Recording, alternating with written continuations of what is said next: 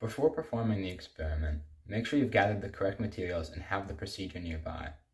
That way it's easy to perform and easy to understand. When throwing the eggs at the target, do not throw them with full force or at anything other than the target. Since this experiment will involve throwing an object at a target, it is important to do it in an open area without any fragile objects nearby. When performing any kind of science experiment, it's necessary to follow the correct safety procedures to prevent any unwanted injury, damage, or mess from occurring. Though this experiment is not going to involve any sharp edges, open flames, or high-speed objects, it's still important to follow the correct safety procedures. Never perform any experiments without adult supervision. For the first experiment, this egg will be thrown at this wall. The egg will stop immediately as it is a solid surface. As you can see, the force of the impact caused the egg to break and even explode. For the second experiment, the egg will be thrown at this blanket.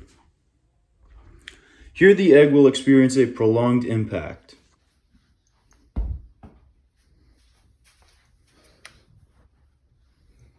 Even though the egg was thrown with the same force at two different surfaces, it only broke when it hit one of them. Why is that? What was different between the two scenarios? What causes an egg to break?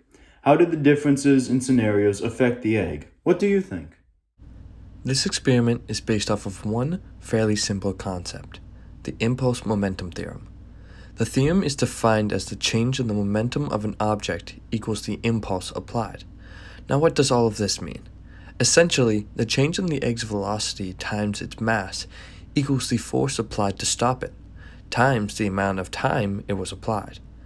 This is shown in the experiment since the eggs were the same mass, they had the same change in momentum, and they had the same force applied.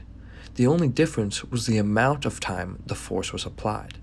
This is why the egg that is thrown at the solid wall broke, but not the one thrown at the blanket. The blanket cushioned the hit and spread the force over a longer amount of time. The wall, on the other hand, had no cushioning, so the eggshell took all the force in a very short amount of time, leading it to shatter.